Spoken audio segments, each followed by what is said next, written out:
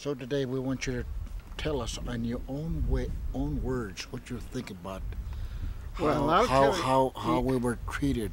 Yeah, well, I. I can tell you how we were treated. We was never never what you call that. We was never uh, uh, uh, treated like um, what the viewer's supposed to be doing to us. You know, he's supposed to um, uh, take care of us and all through there and everything. But uh, no, we had no electricity. We ain't got no water, and uh, our house is small. When I was raising up children, boy, that was hard. We have to wash our clothes outside and pack our water, and that was hard.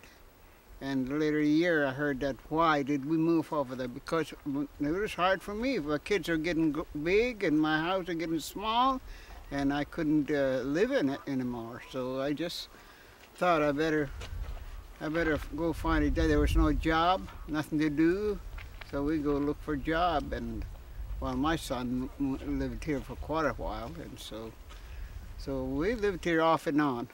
Cause I used to come back and come back, and we come in and stay here and stay at the house, and because it was ours. I didn't, I didn't sell that place at all because I wanted to live right in that place for home, and I liked that.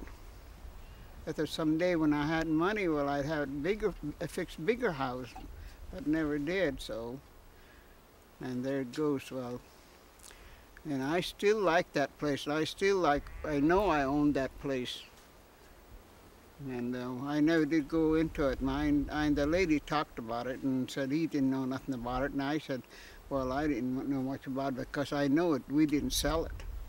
The guy that Johnny Heidi, we didn't sell it to him. He knows it. John does, but his wife doesn't. Said we just never touch it. Don't tear it down. Don't ever touch that place.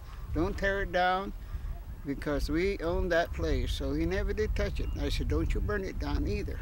That's evidence where we need, where where the houses didn't have no water, right? No no toilet house and inside what they're supposed to. And so, and all our kids love that place. So it no reason why we, we, they think that we just moved away for nothing.